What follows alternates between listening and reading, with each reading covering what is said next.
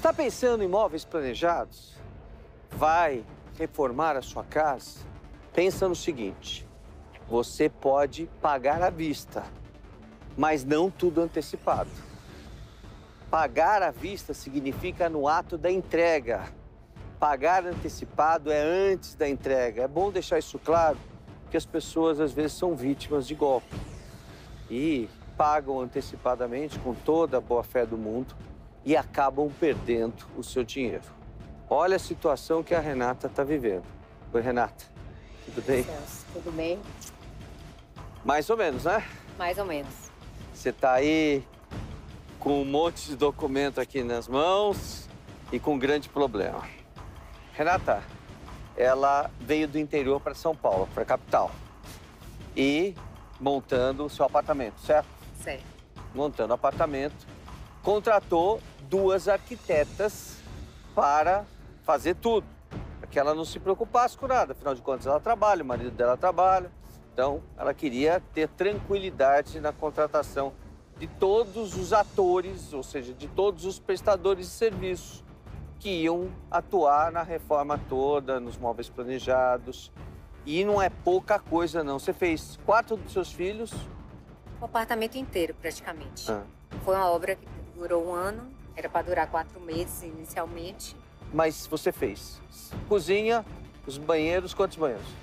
Três banheiros, três suítes, um lavabo, quarto dos meus, do meu filho, da minha filha, escritório do meu marido, meu escritório, closet, varanda, sala, cozinha e lavanderia. 200 e... 27 mil. 227 mais mil. um extra de dois, né? Mas a gente está falando de 227 mil reais só de imóveis planejados. A gente não está falando do resto da obra. De uma forma ou de outra, ela contratou essa empresa aqui, a EL, né? Duas, é, duas arquitetas com a obrigação de acompanhar o projeto e de acompanhar a administração da obra. Pode ver aqui no contrato, acompanhar a administração da obra. Bom, Renata conhecia um marceneiro lá do interior de São Paulo, da região lá de, de Registro, né, do, Vale do Ribeira. Queria trazer ele para cá, já confiava nele pelo trabalho que ele desenvolve, etc e tal. Aí as arquitetas disseram para ela o quê? Elas não me proibiram, me deixaram livres. Porém, a administração da obra só seria, né, elas só se responsabilizariam por prestadores que elas indicassem. E nós fizemos três orçamentos e dentre eles esse foi o de menor valor. E, que gente se atendia agradou, é, a- que as, atendia as expectativas. Inclusive elas me disseram que essa marcenaria estava no, em projetos no JK, na Casa Que é Cor, essa daqui, ó, gente. Design de Zegno. Desegno, né? Falta um, um acento aqui. Desegno é, sociedade, né? Ponto com. Bom, essa marcenaria aqui é, foi indicada por elas. E a Renata acabou aceitando todas as indicações, sem saber que existe aí no meio dessa história uns acordos feitos, é, digamos assim, não muito republicanos, feitos entre é, arquitetos e prestadores de serviço. Inclusive, diga-se de passagem, importante que você saiba que o Conselho Regional de Arquitetura proíbe esse tipo de coisa. Mas a Renata não sabia de nada. Foi descobrir posteriormente, né, que é, a contratação tinha uma comissão para as arquitetas. Na verdade, é, eu descobri isso pela própria Márcia. Ela me Então disse. vamos lá, a Márcia, só para vocês entenderem, a Márcia é a dona da marcenaria. E a Márcia gravou inclusive um áudio falando sobre isso, Sim. falou? Não gravou? Vamos ouvir o áudio? quando elas vieram orçar, Renata, e aí foi tendo tanto erro, tanta coisa que, tinha- que eu tive que colocar depois, que eu já havia falado, no final vocês não vão receber nada, porque eu fechei um projeto que estava dando de custo 227 mil, no final estava dando 250. Elas tinham 22 mil para receber de RT, esquece, né? Não tem como. Como vocês viram, a dona da marcenaria diz aí no áudio que as arquitetas teriam RT para receber. Que é RT, você sabe? Hoje em dia você sabe. Hoje em dia eu O que, sei. que é um RT? O pessoal está assistindo. É uma reserva técnica que algumas lojas disponibilizam para os arquitetos. Pois é. Reserva técnica, na verdade, é uma comissão, gente. Eu não estou dizendo aqui que foi pago, nem estamos fazendo nenhuma afirmação. Nós estamos dizendo que não aceitaram né, o marceneiro dela para indicar uma, uma, uma marcenaria de confiança de acordo com o que o contrato delas estabelece. Né? E diz aqui no contrato o seguinte, ó. Seleção de fornecimento de comprovada idoneidade e notória capacidade técnica. Isso significa, quando está no contrato, que elas estão indicando pessoas sérias, né? Capazes de entregar o que foi contratado, etc e tal. Só que não foi o que ocorreu, né? Esta obra começou quando? Em junho de 2023. Nós estamos falando com vocês, enquanto a gente está falando, vocês estão vendo agora imagens do apartamento da Renata, da Dó. Da Dó porque ela não tem absolutamente nada. Nada. Pouca coisa foi entregue. Digamos, não chega a 7%. Não, 5% e eu tive que levar outros marceneiros lá para fazer orçamentos, que eu não pude ainda fechar com nenhum. E eles disseram que aquilo ali jogariam tudo numa caçamba, jogavam no lixo, que nada serve, de péssima qualidade. Pois é. Também tem o lado aí dos de quem quer vender, né, gente? Também tem o lado de quem quer vender. De uma forma ou de outra, o projeto é muito bonito, né? Com tudo bem montadinho. O grande foi, problema foi que a Renata, a pedido deles, foi pagando. E o contrato dizia que tinha bastante coisa a ser pago, né? Tá aqui o contrato. Eles dizem que o prazo de finalização do projeto técnico é em 20 dias úteis da medição, após a medição. E que a entrega seria em 60 dias, em 30 dias, né? A previsão do prazo de montagem é de 30 dias úteis após a entrega. Nada disso, nada disso foi cumprido. Agora, olha só o preço dessa, dessa obra. Espera aqui também, por favor. Olha só o preço obra dessa não, só obra. da marcenaria, né? É, obra que eu digo A marcenaria, foi- parte da marcenaria. Olha só, gente. Entrada, 68.463. Mais o restante, 158.820, que foram divididos em seis parcelas iguais de 26.470. Só que isso aqui foi feito no cartão de crédito. E quando é feito no cartão de crédito, a administradora adianta o dinheiro. Ou seja, eles puseram dinheiro no bolso e nada de entregar. Você já tentou de tudo, né? Já tentamos conversar, já contratamos um novo arquiteto depois que fizemos um distrato amigável com essas arquitetas. E as arquitetas desistiram da história porque viram que o negócio não andava, mas foram elas que indicaram A marcenaria. Até me devolveram um valor que o outro, o novo arquiteto É. Ou seja, do, do cobrou contrato. bem é, mais. Então esse Do valor eu é. ainda tive que completar para pagar o novo do arquiteto. contrato que você firmou com elas, que na totalidade, além da marcenaria, tem o contrato com as arqui- arquitetas, que daria aqui, eu, daria um total de 21.500 reais pela administração e pelo trabalho do projeto. Projeto aqui na frente, 10.465 e 11.035 reais da administração da obra. Devolveram 8 Em mil maio desse ano, né? É. Então elas geriram minha obra do ano passado, quando eu contratei com elas, eu contratei com elas em março, né? E agora em maio Bom, me devolveram porque não tinha mais clima. Né? nós estamos contando essa história para vocês para dizer o seguinte: no meio do caminho elas lavaram mão da história, que não tinha mais clima, saíram da obra, largaram o abacaxi na mão da Renata. A Renata não consegue receber os móveis, acionou a patrulha do consumidor. Bom, até lá. Vamos, tentar lá. resolver isso. Vamos lá. Estamos agora chegando na rua Caiara, aqui em Santo Amaro, e logo ali na frente fica ah, o escritório e a, a loja, a fábrica da, da marcenaria. Quem é que cuida aí? Quem é? Márcia? Moraes é a responsável E aí depois a gente descobriu que ela se apresentava como funcionária. Esse ano a gente descobriu que o proprietário é o filho dela, Alan Moraes. Então, na verdade, ela não é, Alan, é, não é funcionária. É Silvio aqui nesse, também trabalha aí. nesse espaço aqui? É, nesse espaço. Ver se a gente consegue falar com alguém aqui.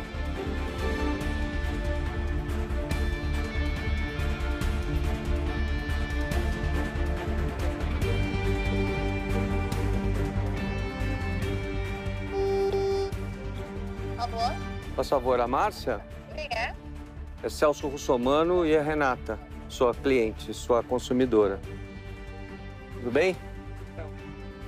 Tudo bem? Tudo bom? Ô Celso, no momento eu não tenho ninguém do jurídico que pode atender vocês hoje. Não, mas não é que a gente não quer falar com o jurídico, a gente quer conversar com a empresa para resolver o problema. Sim, Mas é que no momento não tem ninguém. Então por isso que eu não, não posso nem liberar a Mas quem de atendeu, mas quem atendeu foi a Márcia. A Márcia é a responsável. É, mas no momento ela não pode atender, entendeu? Então, eu- mas ah, eu veja, ó, veja, eu eu só queria te entender. Estou dando a vocês o direito de resposta, Com certeza. né? Para dizer o que é que vocês querem fazer em relação aos móveis que não foram entregues. Vocês, inclusive, se apresentaram, apresentaram na Casa Cor, vocês têm um nome a zelar, mas ela precisa receber os móveis dela e isso não está acontecendo. Então, a minha intenção aqui é dar direito de resposta. É, eu vou colocar no ar e a responsabilidade fica sendo de vocês. É, sim, acho que você já tem uma negociação com o pessoal aqui, né? Não Eu tem. sei que- Primeiro, é a primeira vez que eu tô lhe conhecendo hoje. Sim. Segundo, não fale o que você não sabe. Não, então, eu não, não tenho sei. negociação nenhuma. Inclusive, eu fiz um boletim de ocorrência. É bom ressaltar que eu queria até ver o andamento desse inquérito na delegacia do consumidor. Certo. E o advogado dela disse que ia entrar em contato com a proposta e nada até Então, o ad- agora. O advogado dela. Você sabe o nome dele? Não chegou, você sabe? O advogado dela. é, pega o celular dela, por favor. O advogado dela é, disse que entraria em contato para o delegado de polícia. E não entrou em contato até hoje. Pode ser sem as câmeras? Sim, pode até ser, pode até ser. e Pode, pode, que claro. Pode tentar Tá? resolver. Claro, é isso que a gente Porque quer. aí, É isso assim, que a gente quer. pelo menos a gente Eu não quero acordo. câmeras. Eu quero saber para onde que foi meu dinheiro e o meu sonho de um apartamento todo novo. É só isso. Eu não Não, preciso de câmeras. Tá bom. Vamos lá, Eu então. vou, vou atender. Tá bom.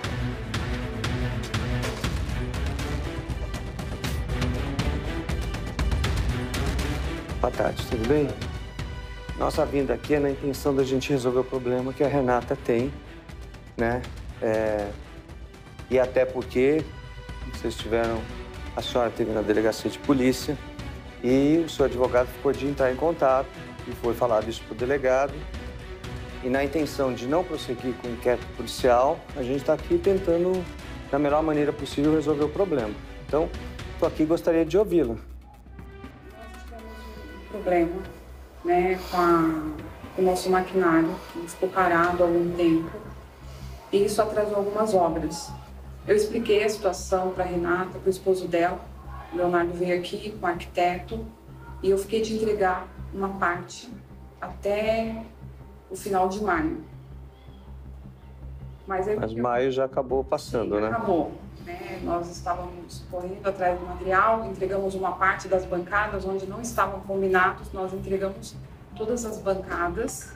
A marmoraria ia apoiar o mármore nas, no- no- nos armários dela. Então, como a marmoraria estava pressionando, eles entregaram qualquer bancada de um material ruim que o pessoal disse que podia jogar na caçamba de lixo, que a gente teve que chamar o marceneiro, aqueles que eu tirei foto, que estavam ruins, e botaram para a marmoraria terminar e a marmoraria se livrar. Aí, isso que não corresponde nem a 5% da minha obra, ela alega que entregou 20, ok. Mas e o resto até maio? Aí ela me inventa no dia da entrega até maio, que foi ameaçada, e deixa ela falar que isso, que aquilo outro, que não é do nosso feitio. Enfim, Eu invento com câmeras, com tudo filmado. que nunca foi Tá bom, mas mostrado. veja bem, isso, Veio veja uma- bem, se, se alguém veio aqui, só pode falar, eu quero ouvir, por favor. É, A gente veio uma pessoa aqui do nada, entrou se anunciando Fernando. Quando eu desci, é, ele se apresentou como Renato. Falou: olha, vocês têm um cliente assim, assim, na rua tal, em Moema, agora eu não vou lembrar, e vocês falaram que ia entregar até tal data, né? Quatro meses, só que a gente não quer os quatro meses. Eu preciso que você entregue tudo dessa forma. Falei, mas eu não tenho como entregar. Aí ele falou, vem aqui. Aí ele me chamou para sentar lá fora, as câmeras mostram. Falou, é o seguinte, se você não entregar até o dia 25 de maio todos os ambientes, vai ficar ruim para mim. E se ficar ruim para mim, vai ficar ruim para você também.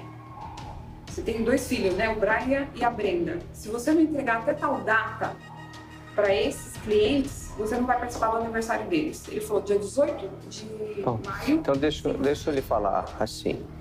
Com conhecimento técnico, né? Eu lhe aconselho fazer um boletim de ocorrência fizemos. e fazer uma, representação. fazer uma representação. Porque não foi em nome da Renata que ele veio. A gente também é interessado. Meu Mas marido foi na delegacia e disse: Eu tô interessado em saber quem foi, já que ela diz que usou nosso nome, que eu tô achando isso estranho. Depois que aconteceu tudo isso, é, eu fiquei desesperada. Eu liguei pro Alan, falei, Alan, a gente precisa vender a máquina, a gente precisa entregar isso aqui. Ele falou, está errado. A gente não pode sofrer esse tipo de... Ele correu, ele veio pra cá correndo e ligou pro esposo dela, o Dr. Leonardo. E aí, ele, Ele quem? o, o Alan, Filho dela. Ah, É proprietário. tá. proprietários, Sim. Que eu só soube esse ano que ele era proprietário. E aí, o que, que Porque aconteceu? ela dizia que ela era uma funcionária daqui, Mas eu mim. sou funcionária, sou registrada aqui. É que quando aconteceu Mas ela omitiu que ele era filho. Quando a pessoa omite que é filho, é estranho. Porque Bom. o filho a gente não esconde, a gente tem É prazer que, em é, dizer. tá, então vamos ouvi-la, porque eu sei, ela tá revoltada, porque ela tá. Imagina, ela mudou e ela tá ela com tudo empilhado. doutor Leonardo. Pelo contrário, os áudios dela é sarcástica. Inclusive, o filho dela, quando ligou, tem gravado. Fala com ele num tom bem... Deixa, deixa ela falar agora, vamos Deixa ouvir, ela vamos, Aí quando vamos eu falei ouvir. com ele, ele falou, eu jamais faria isso. Eu jamais faria. Deve ser algum, algum, algum cliente, alguém que eu defendi está tomando as minhas dores, mas eu jamais mandei isso. Eu tenho Ele gravado. não falou isso, que ele não é advogado pra defender ninguém. Ele Aí, não defende. Eu, Você tem gravado isso, você tem que juntar no boletim de ocorrência, Meu instaurar, em, instaurar inquérito Não foi. policial e a Não gente. foi A juntado gente nenhuma gravação, nenhum áudio no boletim de ocorrência dela. Ela só falou que um tal de Fernando foi lá usando o nosso nome. Estranha essa história. Vamos, vamos tentar resolver o problema da melhor maneira possível.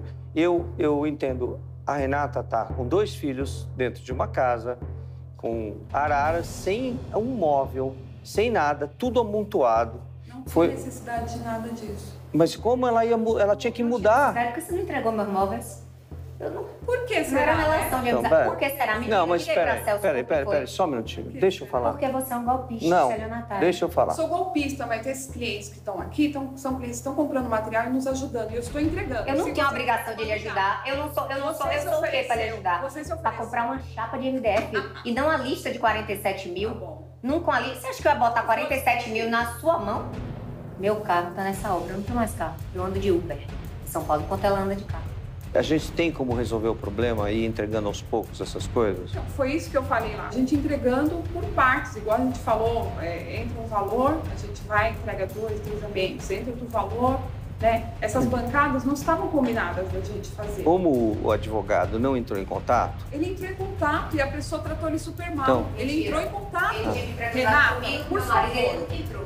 Não é Bom. verdade. O doutor Célio entrou em contato e a pessoa falou que não queria. Que isso? bom, quer dizer que o doutor Célio é mentiroso. Não, mas eu não sei com quem que ele eu- bom, mas vamos fazer o seguinte: você me autoriza a intermediar isso? Claro, Celso. Tá bom. Pode- ele pode falar comigo, advogado? Sério, claro. Da Renata, sabe aquele que a gente foi na delegacia? O senhor ligou e falou com ela? senhor? Ela me ligou e fa- falando que era advogada do doutor, esqueci o nome dele. Leonardo. Doutor Célio? Oi, é o Celso, é o Celso Russomano, tudo bem? Pois não, Celso, tudo bem você? Tudo bem, graças a Deus. Então, veja, é, eu estou aqui na tentativa de uma conciliação, tá? Já disse, inclusive, que já com a autorização do doutor Leonardo e da doutora Renata, que também é advogada, de que é, se vocês conseguirem ir entregando aos poucos, a gente... Essa foi a proposta que eu fiz, inclusive fiz lá na delegacia. O delegado falou para mim, eu não posso falar nada para você, porque não, não, não, não cabe a mim. Mas é, conversa com eles para pedido. Eu propus entregar em 30 dias toda a parte que falta da parte molhada que já foi feita mais da metade. Tá, Certo? E depois a gente iria fazer um por mês. tá. Doutor Célio, vamos fazer o seguinte, Eu, eu deixei meu telefone aqui, tá? Com a Márcia. Eu vou, eu vou, vamos manter contato nós dois. Eu me proponho a intermediar isso para a gente resolver da melhor maneira possível. Muito obrigado. Eu só não vou até aí porque eu não... Não, fique tranquilo, fique tranquilo. Vamos, vamos tocar, vamos ver se a gente resolve. Obrigado, viu? Obrigado. Eu tenho certeza que a gente vai chegar no, no, no entendimento, tá? Vamos lá? Tchau, obrigada. Tchau, tchau. Obrigado, obrigado. Bom, gente, a gente conversou longamente com a Márcia, que é a filha do. é a mãe, na verdade, do proprietário, né?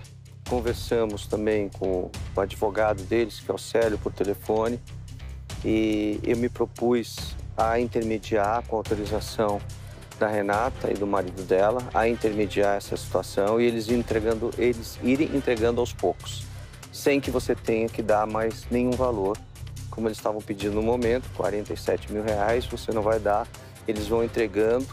Né? E eu vou na segunda-feira conversar com eles, e vou te passando e te, e te mantendo informado do que está acontecendo e a gente vai caminhando é, para ver se resolve o problema, tá bom? Tá bom, obrigada. Vamos, vamos, vamos fazer da melhor maneira possível para ver se a gente encontra um acordo e a gente pode voltar aqui e dizer que foi bom para ambas as partes. O importante é dizer para você que está nos assistindo. É, às vezes por problemas financeiros ou por qualquer outro problema, às vezes né, é, por golpe, é, você não deve pagar antecipado. Né? É, apesar de ela ter feito parcelado, foi no cartão. E no cartão de crédito, o fornecedor recebe à vista, com evidentemente um pequeno desconto, mas recebe à vista. E você fica com o problema na mão. Então, 30%, no máximo 40% antes de começar a, a entrega. No dia da entrega você quita, esse é pagamento à vista, né? Porque o que ela fez foi antecipar o pagamento. E agora está com dificuldade de receber, tá bom? A gente volta, tá bom? Tá bom. Provisoriamente, estando bom para ambas as partes, Celso Russomano, a Patrulha do Consumidor.